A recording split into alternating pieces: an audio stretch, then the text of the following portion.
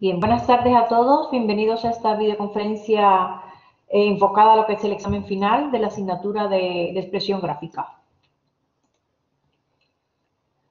Bueno, vamos a comenzar viendo quién puede ir al examen final. Pues bien, como lo dice eh, los requisitos de la guía docente, para poder ir al examen final tenéis que haber realizado los tres controles independientemente de la nota y haber realizado las tres actividades de evaluación continua con dos al menos aprobadas. Y luego, además de esto, tenemos que ver la media de calificaciones que tienen actualmente, que tiene que ser superior al 50% de la evaluación continua. O sea, que el valor que tenéis que tener en el, en el libro de calificaciones, en la media total del curso, es mayor a 2,25, ¿vale? Para poder ir al examen final. Bueno, entonces, el examen final, bueno, como sabéis, es online y tiene un tiempo de una hora 15 minutos, ¿vale? O sea que son 75 minutos en total. Vamos a ver dos preguntas, o sea, dos bloques de preguntas. Una primera pregunta es un control eh, de tipo test que se califica en base a 10, pero luego este, esta parte del control tiene un, un peso del 40% en lo que es la nota final del examen. Y luego tenéis un una tarea práctica que consta de dos partes. Va a haber un ejercicio de acotación y va a haber un ejercicio de vistas diédricas e isométricos, ¿vale? El ejercicio de acotación vale cuatro puntos, el de vistas diédricas e isométricos vale seis, por lo tanto, entre ellos suman diez puntos. Y luego el peso de esta parte práctica en el examen es del 60%, o sea que son seis puntos, ¿vale? Ahora vamos a ver cada uno de ellos. Bloque entonces del examen. Pues bien, tienen el bloque de identificación que normalmente abre, o normalmente no, abre cinco minutos antes de comienzo del examen. Este bloque es obligatorio, ya que si no lo hacen no, no se van a abrir las partes teóricas y prácticas del examen. Por lo tanto, aprovechar esos cinco, cinco minutos que tienen antes, ¿vale? Para poder hacer lo que tengan que hacer en ese bloque y continuar a la hora exacta con el examen. Luego, la parte teórica o sea, ese examen tipo test son 15 minutos para 10 preguntas, ¿vale? Abre primero que la parte práctica y una vez que han comenzado, se cierra a los 15 minutos con las respuestas marcadas, ¿vale? O sea, aunque no le den el botón de enviar, se cierra con esas respuestas. Luego, las preguntas se muestran en bloques de 5 y es muy importante que sepan que no se puede volver atrás, ¿vale? O sea, eh, una vez que están en un bloque, tienen que responder todas las preguntas, irse al otro bloque y responder las otras, ¿vale? Si entran al segundo bloque, ya no van a poder entrar al bloque anterior. O sea que es muy importante que sepan eso, no se puede volver atrás. Luego, la parte práctica, pues abre cinco minutos antes de que comience esta parte práctica mm, para dar eh, un tiempo más a esos que puedan haber terminado eh, antes la parte teórica el tiempo estimado de esta parte es de 60 minutos, pero van a tener 5 minutos de gracia, ¿vale? Destinado a lo que es el envío de la actividad, o sea, extras a los 75 minutos del examen. La respuesta se va a poder enviar en dos ficheros como mínimo, o sea, yo en el, examen le he puesto cuatro ficheros de máximo, ¿vale? Por si alguien quiere mandar los folios independientes. Normalmente uno es para el ejercicio de acotación y otro es para el ejercicio de eh, la pregunta de las vistas diédricas. Ahora le vamos a ver. Bueno, entonces, el tipo test, o sea, la parte 1, como le decía, son 10 preguntas de las unidades de la 1 a la 8.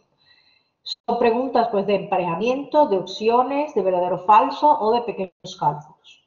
Son 15 minutos, se cierra automáticamente a los 15 minutos de comenzar.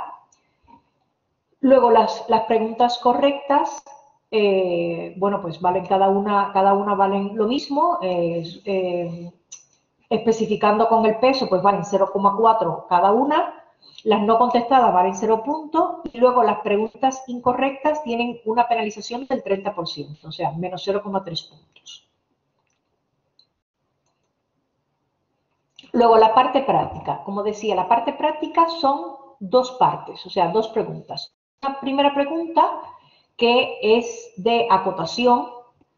Y en esa pregunta yo les voy a pedir que acoten una pieza y vosotros la vais a poder acotar como ustedes quieran. O sea, la van a poder acotar o con el programa AutoCAD y entonces me tendrán que mandar el DWG, ¿vale? O también lo van a poder acotar descargándose un PDF que yo les doy en, en formato papel para que ustedes se lo impriman y lo acoten a mano, lo escaneen y me lo manden a mí. O sea que esta pregunta la van a poder responder de dos maneras, o con el DWG directamente o en papel que lo hagan y me lo envíen. Por eso les doy, en el examen final, les doy los dos formatos.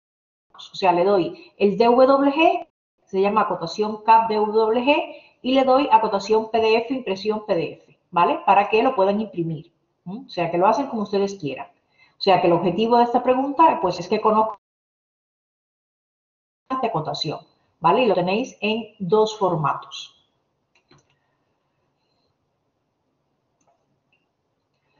Luego, la parte 2 de esta pregunta, o sea, la segunda parte, y la tenéis ahí, la van a tener reflejada en el fichero de examen final, es, pues bueno, dado una pieza, igual que tenían en la segunda actividad de evaluación continua, dado una pieza en tres dimensiones, pues tienen que representar las vistas diédricas de esa pieza, ¿vale? Esa es la primera parte. Entonces, importante aquí, pues que no se olviden de todos los pasos, ¿vale? Como he puesto en todas las ASs a los que no, no lo han tenido en cuenta.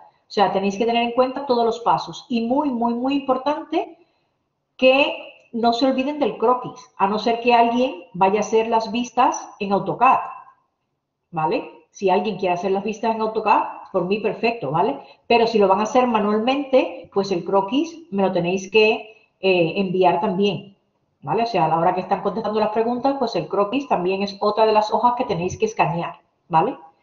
Y luego tenéis también ahí una, un apartado, o sea, este es, digamos, es el apartado primero de la pregunta 2, y luego tenéis un apartado de isométricos, ¿vale? Que ya, ya veréis lo que es, pero vamos, es igual que en la pregunta en la AS, o sea, tenéis que decirme cómo modelan ese sólido que a partir de él han hecho las vistas diédricas.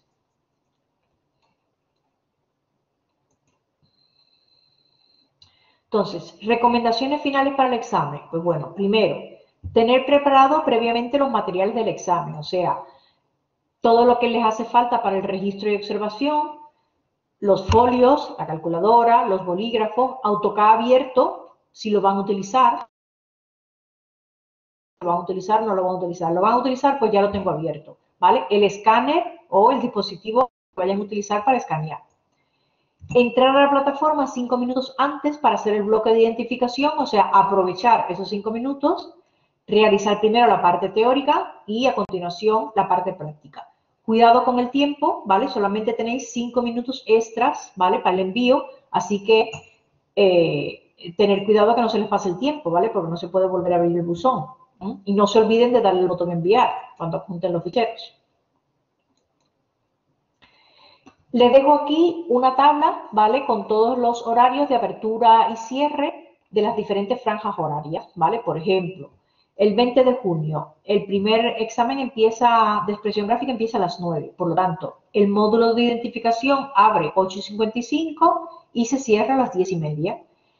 El tipo test, la parte del cuestionario, pues abre a las 9.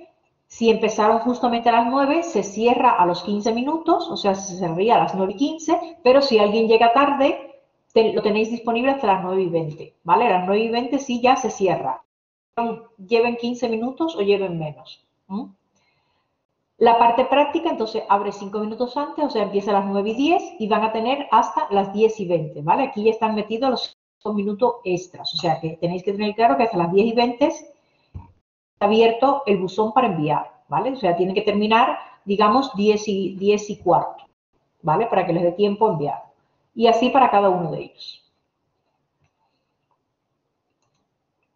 Bien, dudas que tengáis. Ignacio. Vale, nada, está todo muy claro. Eh, solamente en el ejercicio práctico, cuando la, parte de diédricas, ¿has dicho que esta parte va a formar, van a ser dos ejercicios diferentes o a, partir del isométrico sacaremos las diédricas?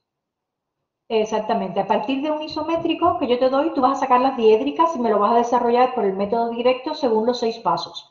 Pero luego tienes un apartado B, que es cómo modelarías ese, ese isométrico en AutoCAD. O sea, cómo haces el modelo en tres dimensiones. Vale, a grandes rasgos. Ah, vale, vale. O sea, una explicación, ¿no? Más o menos. Sí, exactamente, una explicación. O sea, en AutoCAD no. Sino cómo tú lo harías a grandes rasgos. Vale. ¿Y vale, que es un apartado pequeño.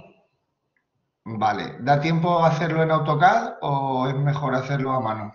Hay, hay, hay, estudiantes que lo han hecho, que lo han hecho AutoCAD, pero claro, esto normalmente lo hacen los que, los que manejan muy bien AutoCAD. Claro. Pues, o sea, date cuenta que es un croquis, o sea, hacerlo a mano es muy, muy, muy rápido. Entonces, si manejáis, si manejáis el AutoCAD bien, con rapidez, pues sí, claro que les da tiempo. Hmm. Vale. vale, pero el croquis, ¿vale? Que no, en el croquis, o sea, que no tiene que estar en AutoCAD escalado ni nada, ¿vale? Sí, sí, sí, vale. Y las de estas, las diédricas, no hay que acotarlas ni nada, ¿verdad? Nada, nada. Vale. Nada. O sea, el punto 6, que es el punto de AutoCAD, o sea, tú lo explicas, que al final las acotas y ya está, pero ya está. Vale, muy pero es un croquis, pues. o sea, es un croquis. Sí, sí, pues nada, ya estaría, estaría todo claro. Vale, pues muy bien. De todas formas, eh, si alguno tiene alguna duda, ya sabéis que estoy disponible en el correo electrónico, ¿vale? O en los horarios de tutoría, como quieran, me llaman para cualquier cosa. Así que muchas gracias, Ignacio, por asistir y mucha suerte a todos en el examen. Muy bien, muchas gracias. Nada, hasta luego. Hasta luego.